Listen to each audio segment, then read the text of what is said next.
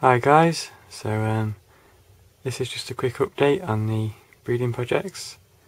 This is my huge OBT female and she has made an egg sac and you can see all the webbing she's been doing and the egg sac is actually underneath her. They um, build fixed egg sacs and then just sit over them and guard them while the eggs develop. And my other female has also made an egg sac. so I've got two OBT sacs at the minute. And yeah, hopefully they're both good. I'll end up with um, lots of slings. Okay, so I thought I'd end the video with the feeding of my OBT sling. This was actually the first one I got about a year ago as a second instar spiderling and now it's probably around 2 inches and has its full adult colours. So yeah, let's um, see if it's hungry.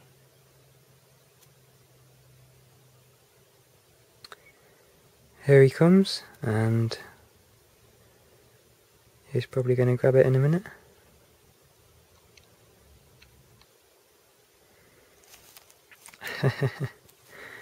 Took you down.